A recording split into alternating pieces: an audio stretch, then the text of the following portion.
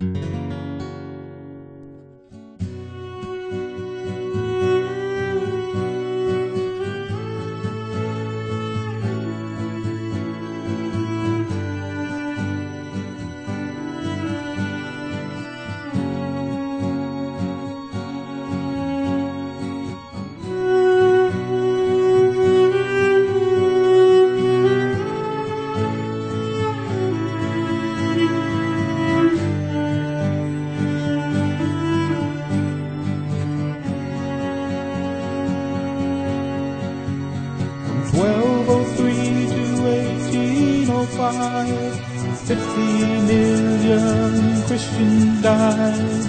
suffering at the hands of Rome, cause they believed in Christ alone.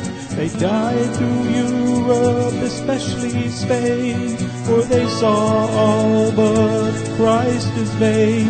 He suffered by his death for men to save them from their awful sin. Six hundred years of martyred saints that history cannot erase. With iron heel and iron hand, the Roman popes rule the land. Those ignorant of history may be swept into apostasy. We won't be loved by Rome's sweet lie with 50 million reasons why. Salvation is by faith alone, in Christ alone, by grace alone. A sovereign God give faith to man. Salvation's in the Maker's hand. This gospel offends Rome today. They offer up another way, a counterfeit, a compromise. Beware the ancient papal lie with such a cloud of witnesses who by grace died in their Lord. Recall their memory to say, by the same faith we live today. Today, most people have some knowledge of the Holocaust of World War II, those six years of unspeakable horror and suffering that the Jewish people were subjected to under Hitler and the Nazi regime. Few, however, are aware of the facts about an earlier atrocity, the Inquisition, the 605 years of torture and murder that was inflicted on Bible believing Christians because they refused to compromise their faith. The Holocaust, which was uh, an unspeakable uh, event in terms of its horror and suffering against the Jewish people, uh, in which six million people were put to death, literally liquidated. The Inquisition, which is a term much which is forgotten or not known to most people, certainly the younger generations, um, occupied a much, much longer period, more than six centuries of, uh, again, unspeakable torture and slaughter of uh, not only Bible believing Christians and Jews, but also uh, Muslims, uh, Knights Templars, and uh, those which they called witches. It, uh, it involved tens of millions of people, possibly as many as 50 million, uh, according to reputable and trustworthy historians. Many people are not even aware of the term Inquisition. It is that period of 605 years where the Church of Rome, in a methodical, organized way, tortured Bible believers and others so that they would give up their faith and trust in Mother Church and not submit to a personal faith in Christ Jesus alone by His grace. The Roman Catholic Church began the practice of suppressing heresy long before the 12th century. To the Roman Church, anything that did not agree with their system of religion was a heresy and must be suppressed. However, before the 12th century, those so called heretics were typically individual street preachers or small groups of Bible believers meeting together in various locations and scattered throughout the land. Consequently, the church had no structured system for the suppression of heresy. The process was sporadic and slow. There was no real pattern or standard method for dealing with the heresy or the heretics, but that was about to change. In the 12th century, a phenomenon occurred, the likes of which the Catholic Church had not dealt with in the past. In southern France, scores of people were becoming Bible believers. Groups like the Albigenses were rapidly spreading throughout the region. This heresy, as the Roman Catholic Church called it, was growing at an alarming rate. If the Catholic Church was going to suppress this heresy, it clearly needed a new and systematic method of dealing with heretics. That new method came with Pope Innocent III. With the army of the Crusades at his disposal, and offering land to all who would come and fight this heretical movement in southern France, Innocent III was determined to suppress this growing menace of Bible believers and he would begin with the Albigenses. Uh, the Inquisition actually, if we wanted to put a date on it, began in France. An interesting group of people called the uh, Albigenses. Albigenses. The Albigenses were a remarkable people and with a remarkable uh, civilization, culture, and moral uh, good good standing and good lives and uh, they uh, had cultivated a a wonderful agricultural life uh, based on the biblical principles, and they had many cities uh, across um, France. Uh, Albi is one of the cities, even there to this day. Of course, it's not Bible believing anymore because the the way in which they were uh, obliterated was in brutal uh, in brutal torture and in the loss of life and this was really the beginning of the Inquisition under the Pope called Innocent III. He was the one who, building on the legal uh, rights of Rome, to be not just a religious power but a civil power, going back to such as Hildebrand and his mm. famous Gregory VII. He brought the papal power to a zenith or a, a climax uh, when he turned what had been the armies of the Crusades now against Bible believers.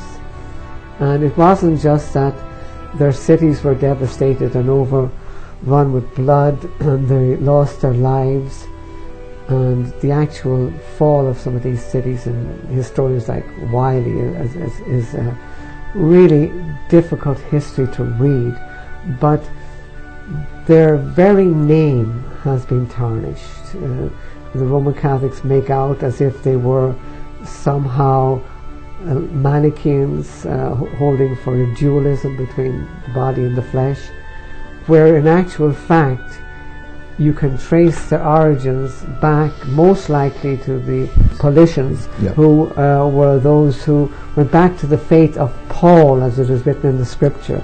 And when you see how remarkable their lives were and the authenticity of their lives and the morality of their life, obviously they believed in the true gospel of Christ Jesus and not in the dualism. But it's not just that their cities were wiped out, but even the very history has been darkened, as it were.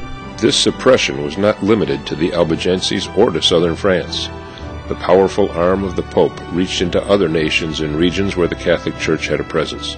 Other groups, like the Vaudois or Waldensians, also suffered terrible persecution for their faith. Well, the Vaudois are an interesting group of believers because they go right back to apostolic times and to the writings of the apostles in the uh, New Testament, of course, to the Old Testament scriptures, and they had a great love for the scripture as the truth, and they believed in Christ Jesus alone by faith alone and grace alone. We have wonderful accounts of these Bible believers, such as uh, John Paul Perrin book on the uh, Vaudois and Alex, Peter Alexson, many others. It is a wonderful to see the faith of these men and women and to know that they stood strongly.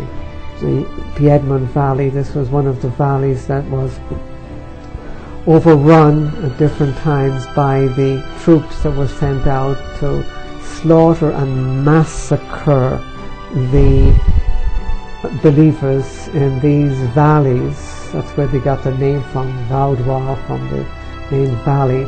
The valley people in uh, northern Italy and in southern France. Thus began the development of a structured method of dealing with heresy and heretics wherever it might be found. Councils of bishops and archbishops, acting under the authority of the Pope, became known as the Holy Office of Inquisition into heretical wickedness. The method that Innocent III began was continued by successive popes as they devised more horrific means and methods to try and suppress those who disagreed with the Roman Catholic Church.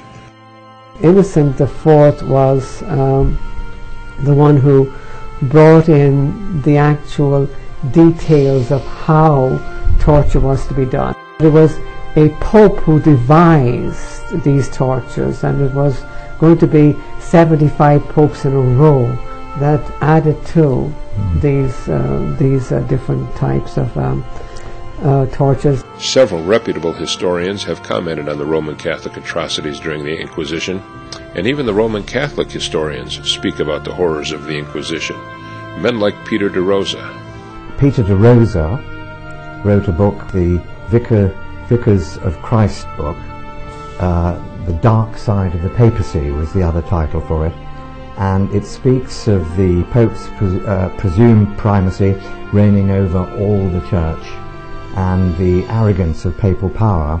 And I quote from, from it John Paul presents the papacy as the champion of truth and the rights of man. He takes it for granted that popes have never contradicted one another on essentials or deviated from gospel truth. History explodes the myth of a papacy lily white in the matter of truth. In an age of barbarism, the popes led the pack. In an age of enlightenment, they trailed the field. And their record was worst when, contrary to the gospel, they tried to impose their truth by force. And Peter de Rosa, in uh, a, a, separate uh, part of the book, also wrote of the atrocities of the torture machine that you just mentioned of the Roman Catholic Church. Uh, he, wrote, he writes, the record of the Inquisition would be embarrassing for any organization. For the Catholic Church, it is devastating. Today, it prides itself, and with much justification, on being the defender of natural law and the rights of man.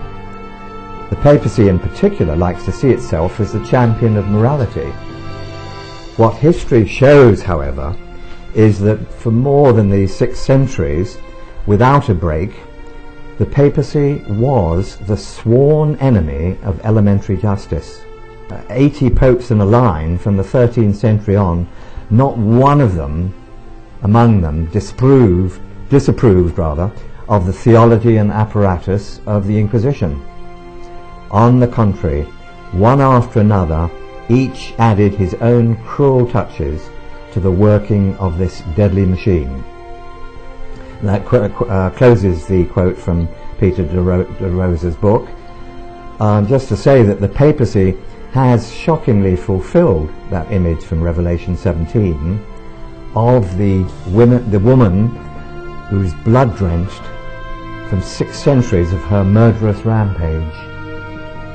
In the Bible, the Holy Spirit foretold her lust for power and for blood, and history has recorded some of the gruesome details of that. And the second uh, Roman Catholic historian that I can quote from is Lord Acton, who's made famous for his observation uh, with the Mother Roman Catholic Church firmly in mind that power corrupts and absolute power corrupts absolutely. And he says about the Inquisition that the Inquisition is peculiarly the weapon and peculiarly the work of the popes.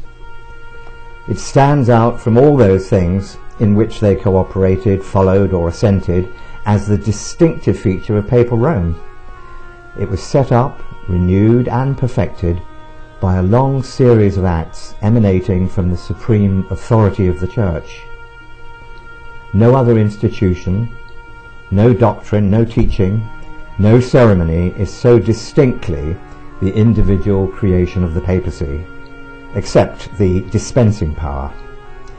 It's the principal thing with which the papacy is identified and by which it must be judged. The principle of the Inquisition is the Pope's sovereign power over life and death. Whoever disobeys him should be tried and tortured and burnt. If that cannot be done, formalities may be dispensed with and the culprit may be killed like an outlaw. That is to say, the principle of the Inquisition is murderous, and a man's opinion of the papacy is regulated and determined by his opinion of religious assassination. So did the English Lord Acton, Roman Catholic, write. The Roman Catholic Church was not satisfied to put the heretics to death in a humane manner.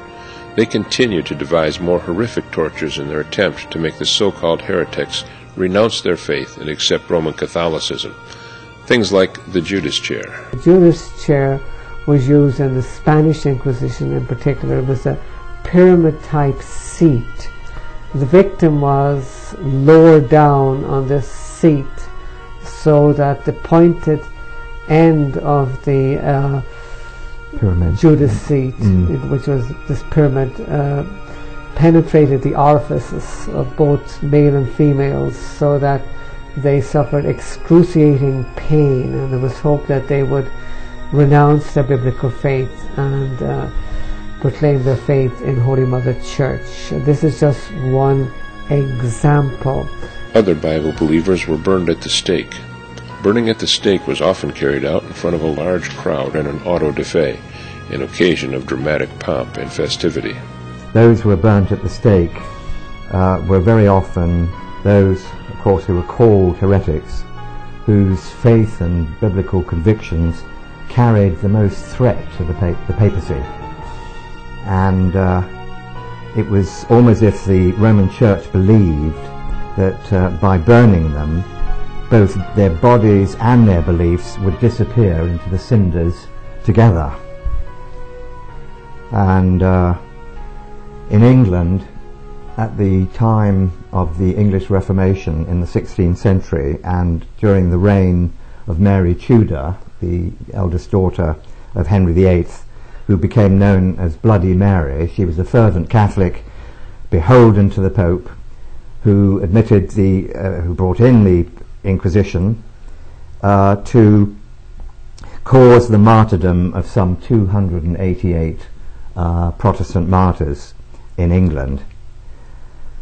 Most of them died because they denied the real presence, the real presence being Catholic dogma or doctrine or teaching, that Jesus Christ is really present, body, soul, divinity and humanity in the sacrament. The burning back to back of Bishops Latimer and Ridley, which took place in Oxford outside Balliol College in 1555, is still well known to many people, as are Latimer's stirring last words, which are which were an inspiration for centuries to uh, Bible believing Christians um, in the English speaking world mainly. And his words were, Be of good comfort, Master Ridley, and play the man. We shall this day, by God's grace, light such a candle in England as I trust shall never be put out. In the movie Flame in the Wind, produced by Unusual Films at Bob Jones University, a young man has been befriended by a Bible believer who has shared the gospel with him. That young man, out of fear, has continued to be subservient to the Roman Catholic Church. He is now called forward at an auto da fe and instructed to light the fire that will burn his heretical friend. As a special favor to you, it has been granted the privilege of showing your loyalty and devotion to our Blessed Virgin and our Holy Church before the great and public assembly. That muleteer is a hated enemy of the church. You is granted the privilege of purifying her of this corruption. Light the flame.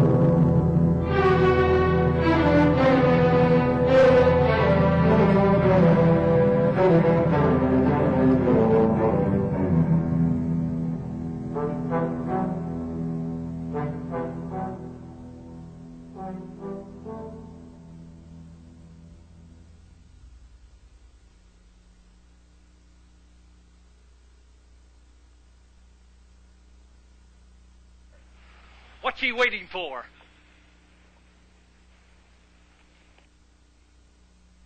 Have you no fear? God forbid that while I breathe I should cease to proclaim His word. For in it are the words of everlasting life. I am, I'm guilty of trusting the Lord Jesus Christ and serving Him. For He is my Savior, not the church. Whatever I suffer here today can in no way repay the debt I owe to Him. How can you stand there like that facing death if this isn't truth? Yet I have not Christ.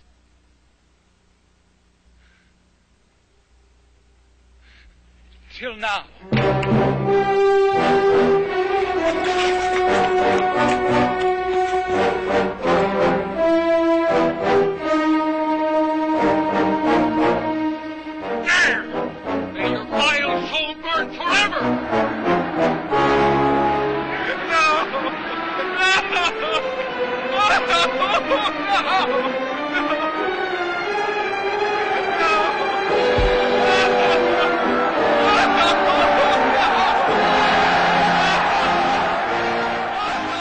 The rack was another instrument used by the Inquisition. the rack, which was quite uh, famous for the horrors that it brought upon the victims. The uh, victim was made to be stretched out on a rack whereby cords pulled from one side their arms and their legs from the other side so that the body began to dislocate so that in the agony and pain of being pulled on the rack the Bible believer would submit to the Church of Rome. Another method of imposing horrific pain to the joints was to raise the victim toward the ceiling by ropes, and then with weights tied to the ankles, the victim was dropped almost to the floor before coming to a jarring stop that sent horrendous pain ripping through the body. Once again, the movie Flame in the Wind gives us an excellent example of this means of torture. In this scene, the same young man is now being asked to denounce his newfound faith in Christ. Begin the torture.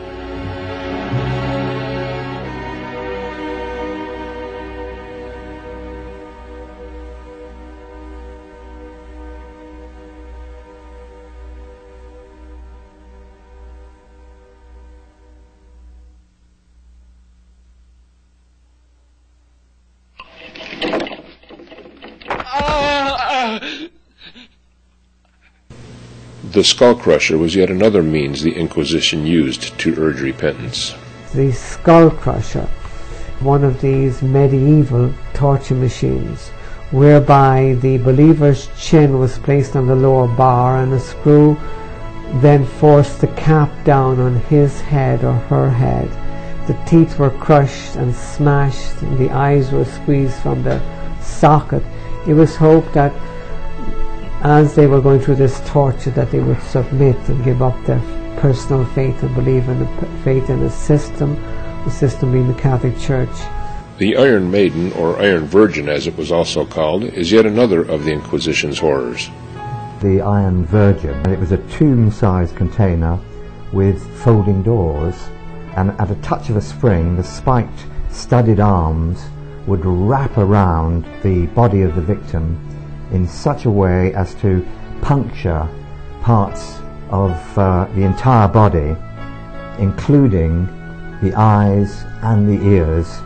And the purpose, obviously, was to inflict pain, but by means of a slow death, vicious spikes into the body, and a slow death. The Roman Catholic Church learned that they could completely remove the skin from a person, all the way down to their waist, before the person would die.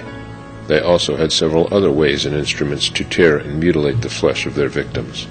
Another way of uh, slowly bringing upon death was the different ways that the Catholic Church used to tear the flesh of men and women and even children.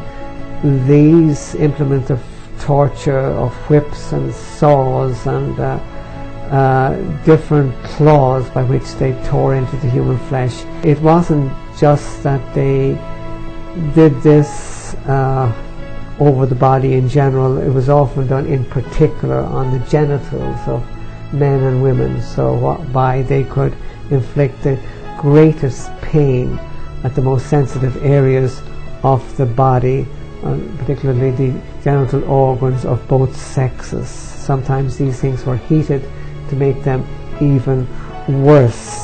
The inquisitors also had devised several methods to crush the bones of those who refused to repent. Instruments for compressing the fingers till the bones would be squeezed to splinters. There were instruments for probing below the fingernails till an exquisite pain like a burning fire would run along the nerves. And there were instruments for tearing out the tongue, scooping out the eyes, rooting out the ears and there was a bunch of iron cords with a spiked circle at the end of every whip for tearing the flesh from the back till bone and sinew were laid bare. There were iron cases for the legs, which were tightened upon the limb placed in them by means of a screw till the flesh and bone were reduced to a pulp.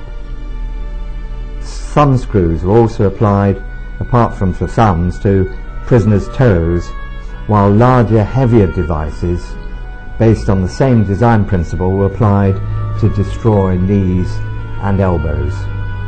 Another set of instruments were used by the Inquisition to pierce the body, such as the chair of nails.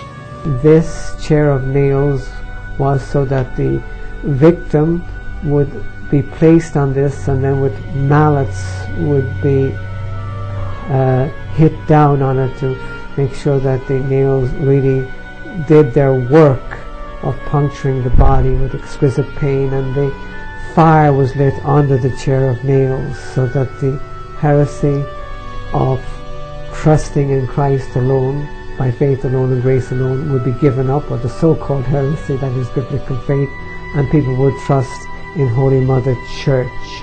There were also devices to slowly and painfully remove the intestines and other organs from the body while keeping the person alive and conscious of the pain.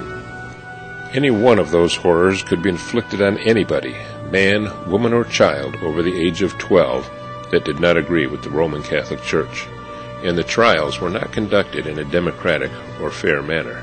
Anyone could be arrested by the Inquisition on suspicion, and then the trial was secret. The prisoner wasn't allowed to know the accusers or the witnesses and the judges were the priesthood. They were uh, ecclesiastics with absolute power and discretion. The, ev- the evidence of infamous persons, of criminals, perjurers, or heretics was admitted so long as it was hostile. When I use the word heretic there, I'm not referring to uh, true believers. Children from the age of 12 were required to bear testimony. The prisoner didn't have to have the, uh, didn't have the help rather of an advocate, for anyone defending a heretic was held guilty of the crime of furthering heresy. And this uh, is worth mentioning that uh, the Inquisition was consistently carried out in the European countries France, Germany, Holland, Spain, and Italy. Those people were subjected to horrendous suffering, and yet they continued to be steadfast in their faith and were able to derive the strength and courage to face those atrocities. Well, it was a wonderful demonstration of the grace and divine power of the Lord Jesus Christ, with whom, in whom they believed so firmly, that uh, carried them through and uh, enabled them to survive the uh, the ordeal, which uh, well today we can hardly uh, we can hardly begin to contemplate could uh, that we could deal with. Many are the afflictions of the righteous, and the Lord delivereth them out of them all they remembered that uh, the Lord had said in the Gospel, Be not afraid of them that kill the body, and after that have no more that they can do. And also I say unto you, Whosoever shall confess me before men, that him, him shall the Son of Man also confess before the angels of God. And again, who shall separate us from the love of Christ? Shall tribulation or distress or persecution or famine, or nakedness, or peril, or sword. Nay, in all these things we are more than conquerors through him that loved us. They not only knew who the Christ was, but very clearly they knew who the Antichrist was. And they came back to scripture texts, and this is quoted by the Vaudois and others throughout the years of the Inquisition, whereby they saw clearly that the scriptures proclaimed who the Christ was and who the Antichrist was. And they were upheld in their faith because they knew that the scriptures had foretold that these uh, these sufferings would come upon believers. Christ Jesus talked about many Christs coming, and that we were not to believe in them. Many people claiming to be the Christ. Peter talked about many false teachers. The Apostle Paul talked about uh, wolves or coming in in the midst of the flock of, of the Lord. And it was always the many and the few who would stand strong. So they were warned and they took great uh, cognizance of the fact that they were coming under the woman spoken about in Revelation 17. They knew that yeah. 17 of Revelation said the words mystery Babylon the great mother of harlots drunken with the blood of the saints and the blood of the martyrs of Jesus Revelation chapter 17 and verse 6 they realized that the papal system was the one that was doing these things and that they were to stand strong in the faith because this was what was prophesied. And they saw that she indeed was great because she had brought in princes and kings and queens to do her work, and that she indeed was mystery because she was proclaiming uh, a, message that was unknown to the pages of Scripture except that it had been prophesied that such horrors would come and a, an apostasy from the true gospel. Uh, it is sad that many Bible believers of our own day will say that they know who the Christ is, but they do not know who mm-hmm. the Antichrist is. It is proclaimed in 2 Thessalonians 2 as both a system and a person. The man of sin and the the one who would sit in the temple of God, calling himself God, and the only one in the pages of history who has done this is the Pope. To this day, the Pope calls himself uh, the Holy Father, which is a title of God, and he calls himself the Vicar of Christ, which is a title of the Holy Spirit. So he sits in the temple of God, calling himself God. Now, the Bible believers saw these things, and they saw that it was historically true. Unlike many Bible believers of our own day who say they do not know who the Antichrist is and they're looking for some something to come in future times whereby um, they will get implanted with a computer chip or something in their brain or some other of these uh, wild ideas that go around whereby in the pages of scripture we see these things prophesied and we see it fulfilled And a, a problem for the church today is that uh, we ignore history at our peril. in those days the cardinals wore scarlet and the bishops purple and to this day the roman church still boasts these two colors. I remember when i was a priest in rome uh, in 1963 going into 1964 and I went to Vatican Council II as it was in session and I saw the square filling up with 3,000 prelates pouring into the square after one of the sessions of the council. And I saw that the colours were scarlet and purple and I was taken aback because even as a Catholic priest I knew what Revelation said and this was real and this is the real colours of Rome and this is what was prophesied of her. And that's only one of the details. She holds the golden cup.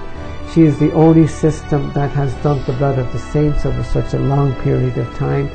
This is fact. It is not something that is surmised. This can be verified on the pages of history The Roman Catholic Church today still maintains the canon laws that she used as her authority to torture and murder Bible believers for over 600 years. And it is not just that she held these things in the past, she still holds in the present day teachings that you must submit to her. And she says that she has the right to coerce Christian people. This is in modern canon law, canon 1311, quotation, the church has an innate and proper right to coerce offending members of the Christian faithful by means of penal sanctions. End of quotation. The Catholic Church also holds to the fact that she can demand a submission of intellect and will. Now we know that submission of intellect and will is usually a hallmark of a cult, and we wouldn't expect that the church that holds itself to be uh, a true Bible or true church uh, would in any way, uh, in its writings, hold to this. But she does, in fact, in the famous uh, Canon 752, she says the following quotation: "A religious respect of intellect and will, even if not the assent of faith, is to be paid to the teaching of the Supreme Pontiff or College of Bishops, enunciate on faith and morals, which the Supreme Pontiff or College of Bishops enunciate on faith and morals. So what the Supreme Pontiff, the Supreme Mediator says, or his College of Bishops, on faith and morals, you have to submit your intellect and will. And this is the same teaching. It is not upheld with the rigors of the past or uh, there are no sanctions like the past, but the same mindset is there. And I think that we have to see that and we have to realize that Bible believers were fortified. They saw what the Apostle Peter said, kept by the power of God. And they were kept by the power of God. And their faith resounded at that time before the throne of God. And it still resounds on the pages of history for those who dare read the true historical accounts. Why would the church that claims to be a humanitarian loving organization continue to write those canons into her modern law? Could it be that the Roman Catholic Church is still using those laws and maintaining that same mindset in our day and age? It's certainly among the best kept uh, secrets of the history of the 20th century that an Inquisition uh, which was as severe as uh, in previous centuries that we've been uh, discussing, did take place uh, at the time of the Second World War. Just to give you a little background first, in 1929, Benito Mussolini signed the Lateran Treaty with the Pope of the time, Pope Pius XI, officially conceding uh, Vatican Hill to the Pope. In other words, the Vatican to be set up again as a political entity. And the papacy once again became a sovereign civil state. The legal agreement with Mussolini was just the beginning of the uh, Concordat, uh, concordats that were to, to be established with many nations, perhaps the most infamous being the one between Pope Pius XII and Adolf Hitler. And the Vatican formed alliances with the following Roman Catholic dictators, among others Benito Mussolini, Adolf Hitler, Francisco Franco in Spain, Antonio Salazar in Portugal, Juan Perón in Argentina, uh, but the most brutal and bloodthirsty of all of them was Anton Pavelic in Croatia.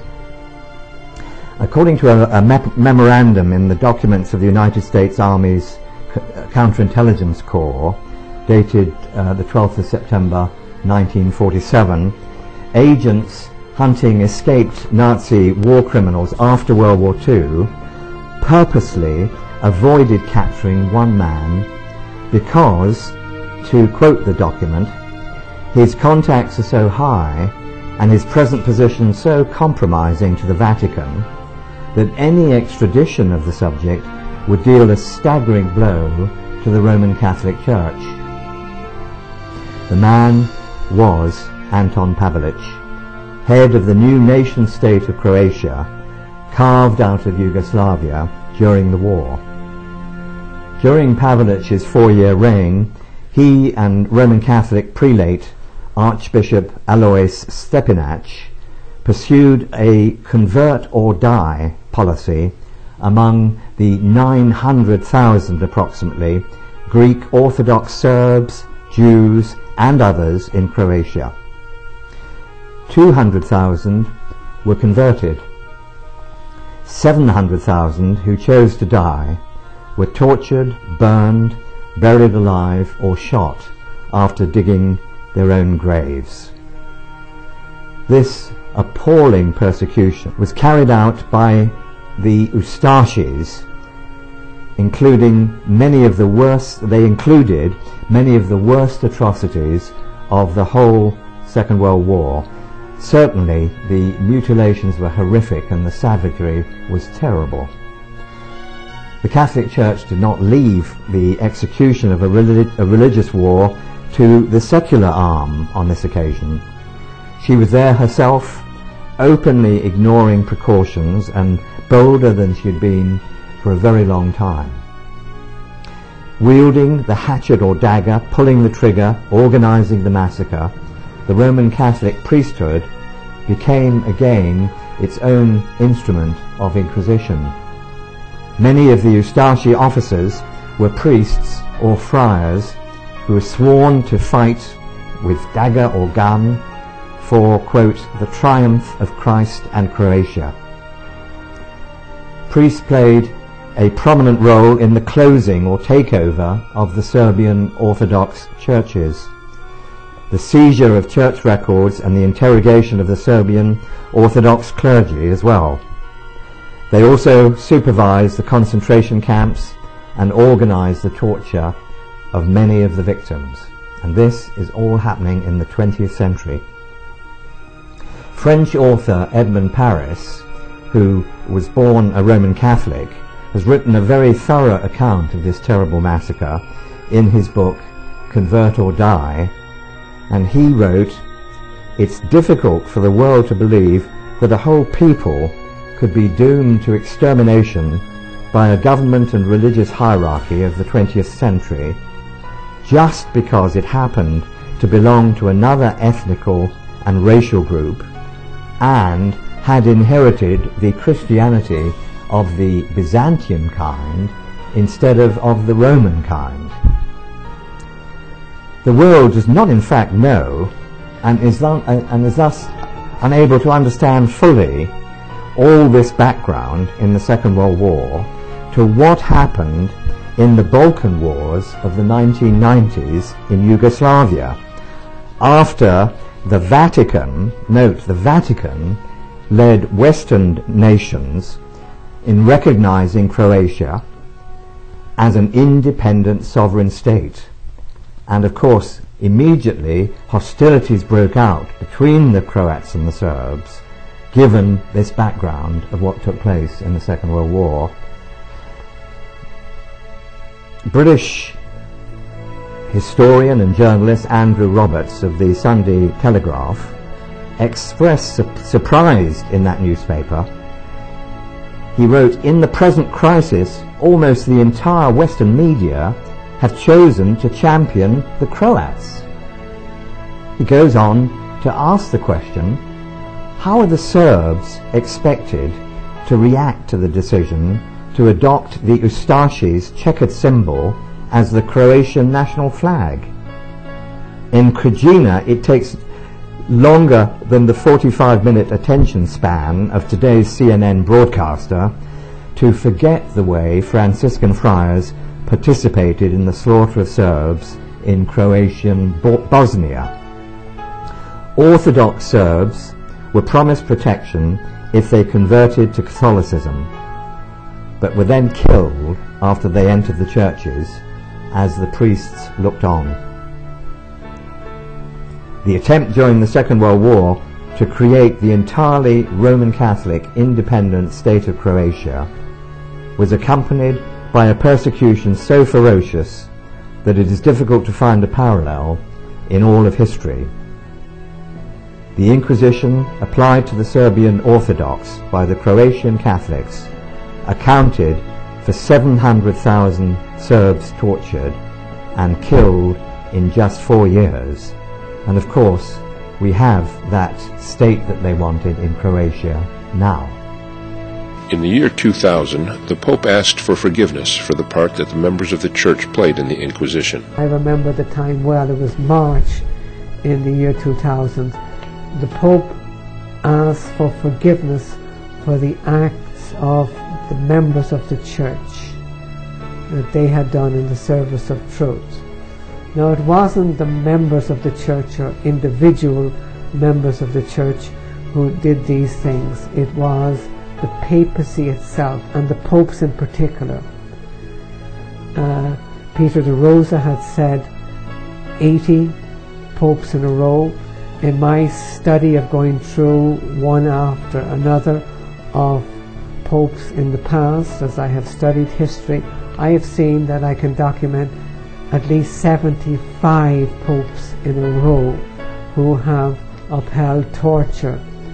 And this is historical fact. It was the popes that uh, gave the authority, as we saw. Lord Acton said it was primarily an institution of papal Rome.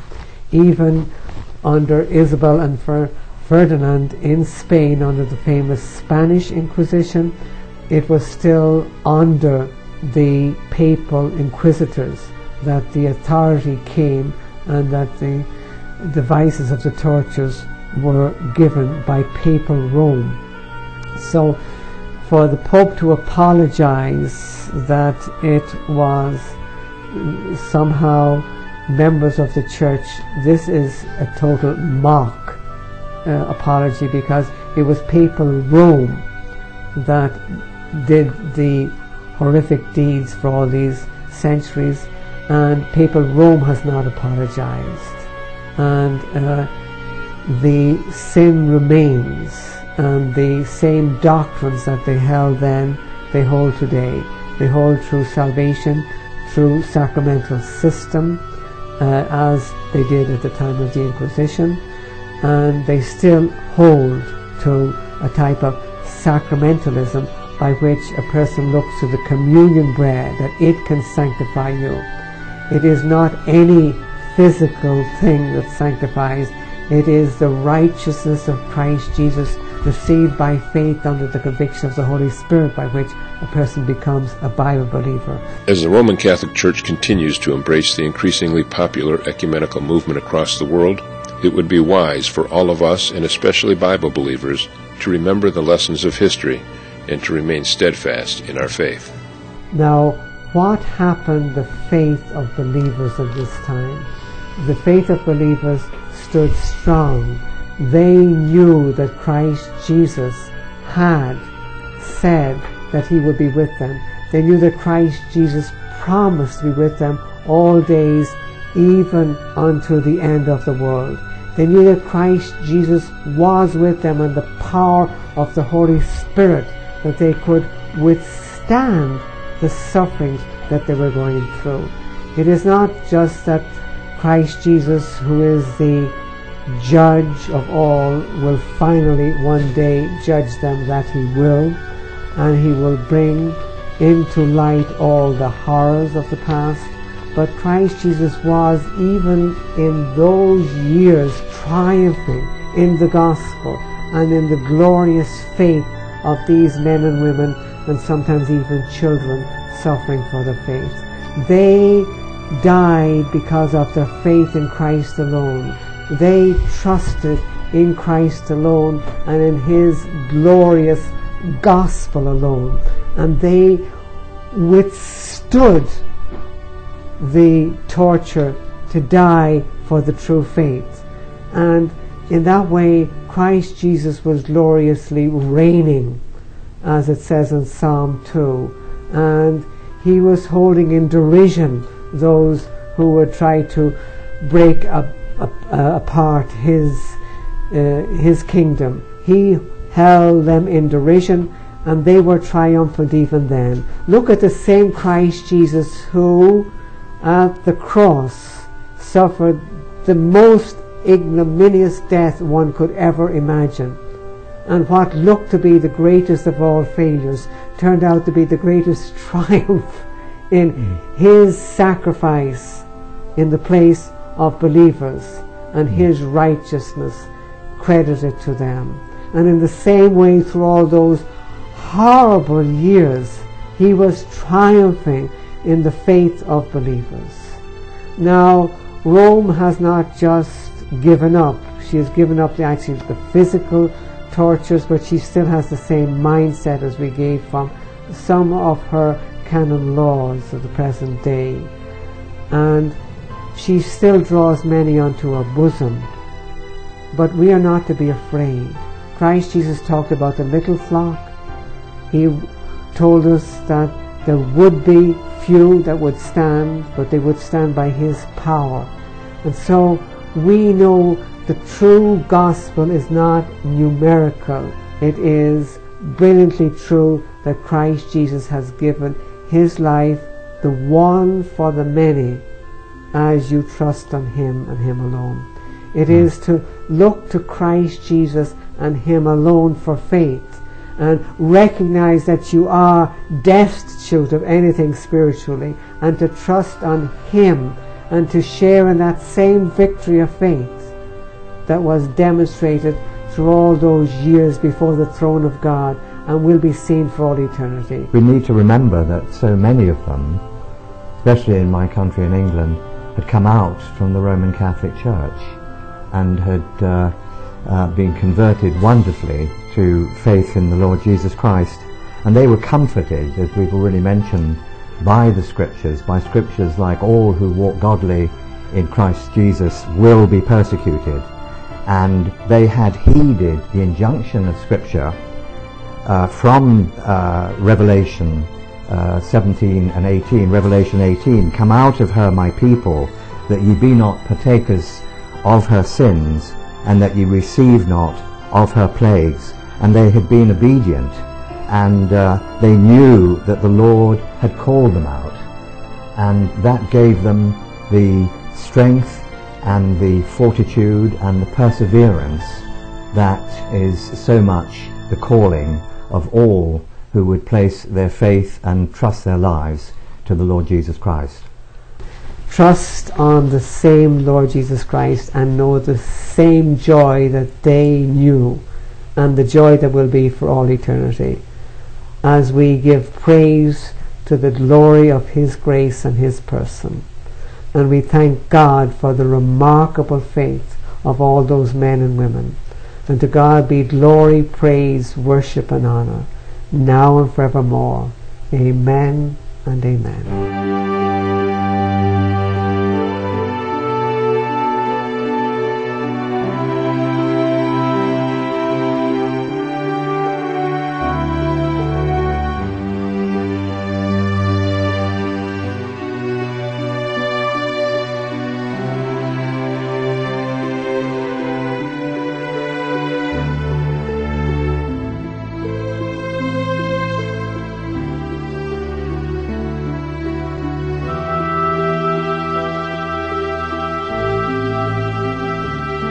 It involved tens of millions of people, possibly as many as 50 million.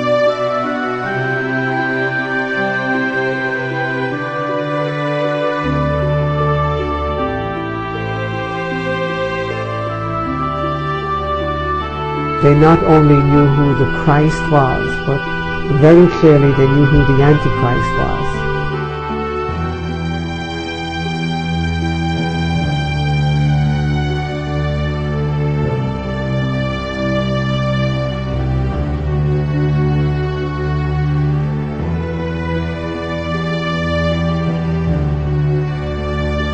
Age of barbarism, the popes led the pack. In an age of enlightenment, they trailed the field.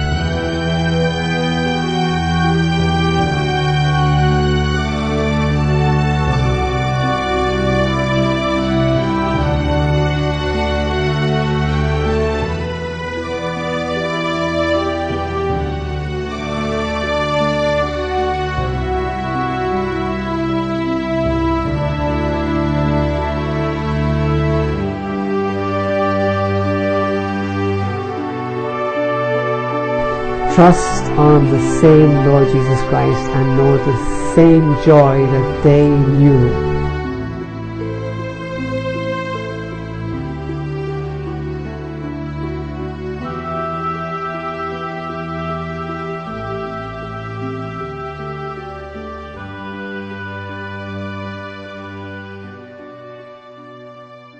And a, a problem for the church today is that uh, we ignore history at our peril.